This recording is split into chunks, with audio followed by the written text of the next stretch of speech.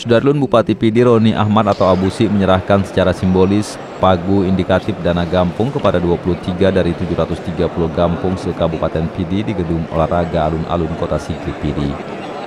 Sebelumnya aparatur gampung juga mendengarkan pidato Abusi terhadap penggunaan dana gampung. Dalam kesempatan ini Abusi berharap dana gampung sejak April ini harus dimanfaatkan masyarakat. Aparatur tidak saling sikut dalam penggunaan dana gampung karena dana tersebut milik masyarakat. 2019 pagu kita di Kabupaten PD sekitar eh, 612 miliar lebih. Itu yang bersumber dari APBK jadi dari APBK itu kan dibagi dia. Ada dari sumber APBN dan sumber dari daerah. Sumber dari APBN itu di 525 miliar lebih yang lainnya dari APBK Kabupaten PD Antar antar uh, Mane, kecamatan Mane berapa? itu sekitar uh, 2 miliar lebih ya, APBN sendiri kalau Kampung Mane sekitar 1,9 miliar. Jadi dia akumulasi berapa totalnya? Sekitar 2 miliar lebih untuk desa Jawa Selatan. Kita dari desa apa di salah satu kecamatan Pidi tadi ada sekitar uh,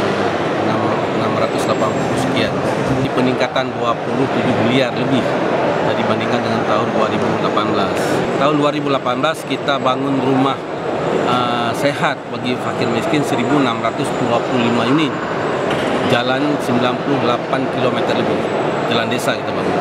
Kemudian ada jembatan 229 kemudian ada MCK kemudian ada sarana olahraga dan ada bantuan untuk uh, kaum disabilitas. Itu ada empat desa yang membuat membeli alat-alat bantuan disabilitas.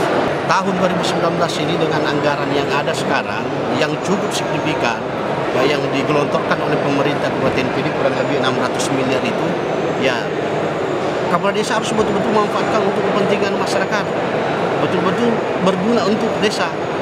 Kebijakan kebijakan pemerintah itu harus dilaksanakan sesuai dengan kebijakan dana desa. Bagaimana mengurangi pengangguran meningkatkan kesejahteraan mengentaskan kemiskinan ya dari Sigli, M. Nazar, Serambion TV.